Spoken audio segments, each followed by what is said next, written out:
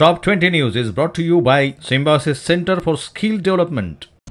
नमस्कार, स्वागत है आपका एनबीसी न्यूज़ पर। आज के टॉप 20 में मैं हूँ आपके साथ भाग्यश्री। यूपी में होने वाली परीक्षाओं में पेपर लीक के मामले थमने का नाम नहीं ले रहे हैं। पिछले 20 दिनों में पेपर लीक के तीन बड़े मामलों को लेकर कोहराम बच रहा है।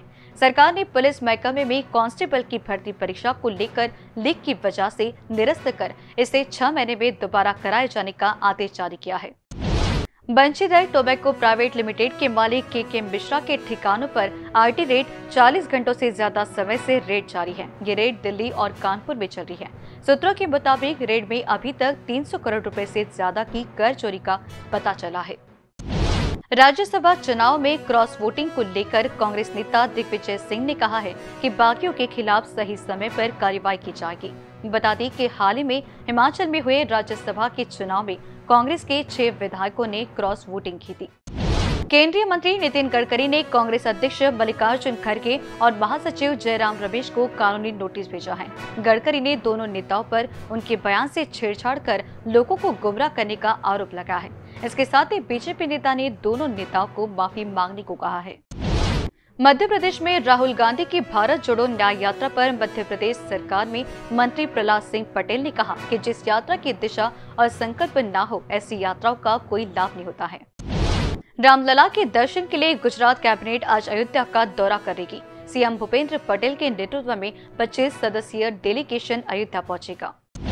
बिहार में फिर से एनडीए की सरकार बनने के बाद पीएम नरेंद्र मोदी 2 मार्च को बेगूसराय से देश को बड़ा तोहफा देंगे। पीएम नरेंद्र मोदी बेगूसराय से एक दशमलव चौसठ लाख करोड़ से अधिक के इक्यावन परियोजनाओं का उद्घाटन और शिलान्यास करेंगे। महाराष्ट्र के मुख्यमंत्री एकनाथ शिंदे उप मुख्यमंत्री देवेंद्र फडणवीस और उप मुख्यमंत्री अजित पवार बारामती में नमो रोज़गार मेला में पहुँचेंगे। पूर्व क्रिकेटर गौतम गंभीर ने राजनीति से संन्यास लेने का ऐलान कर दिया है। उन्होंने खुद ही लोकसभा चुनाव लड़ने से इनकार कर दिया है, जिसके बाद गौतम टिकट की रेस से बाहर हो गए हैं। इस संबंध में उन्होंने ट्वीट कर जानकारी दी है। कर्नाटक की राजधानी बेंगलुरु के रामेश्वरम कैफ़े में शुक्रवार को धमाका हुआ। कैफ़े में रखे गए विस्फोटकों से भरे बैग के ज़रिए धमाके को अंजाम दिया गया। बेंगलुरु के द रामेश्वर कैफ़े में हुए विस्फोट के मामले में पुलिस ने आईपीसी की धारा 307, 471 और यूएपीए की धारा 16, 18 और 38 के तहत एफआईआर दर्ज की है। एफआईआर में विस्फोटक पदार्थ अधिनियम की धारा तीन और चार भी जोड़ी गई है। बेंगलुरु कैफ़े ब्लास्ट पर केंद्रीय मंत्री प्रहलाद जोशी ने कहा कि अगर कांग्रेस सरकार ने विधानसभा की घटना को गंभीरता से लिया होता तो आज ये घटना नहीं होती।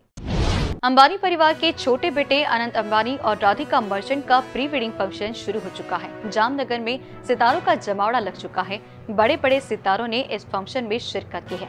अमेरिकन पॉप सिंगर रिहाना ने बीती शाम आनंद और राधिका के प्री वेडिंग फ़ंक्शन में जमकर परफॉर्मेंस किया। महाराष्ट्र विधानसभा में सत्तारूढ़ बीजेपी और विपक्षी कांग्रेस दोनों ने मुंबई की नागरिक परिवहन सेवा, बेस के किराया वृद्धि को वापस लेने की मांग की है।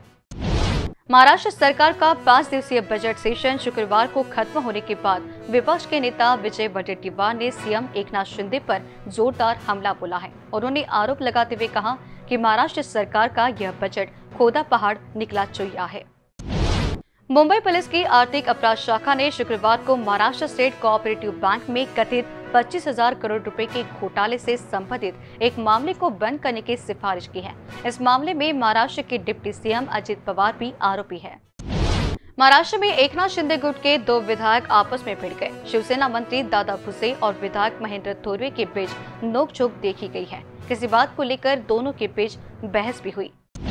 महाराष्ट्र बीजेपी विधायक राम कदम ने शिवसेना के दोनों गुटों की अयोग्यता याचिकाओं पर फैसले के बाद विधानसभा अध्यक्ष के खिलाफ उनके बयानों के लिए शिवसेना यूबीटी नेताओं उद्धव ठाकरे और संजय राउत के खिलाफ विशेषाधिकार हनन का प्रस्ताव पेश किया है।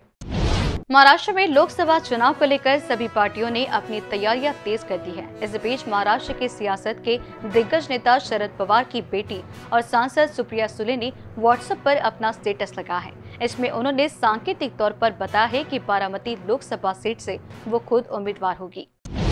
घरेलू शेयर बाज़ार में आज शनिवार को स्पेशल कारोबार हो रहा है। अमुनन शनिवार को बंद रहने वाले बाज़ार में आज खुलते ही ज़बरदस्त मोमेंटम देखा गया।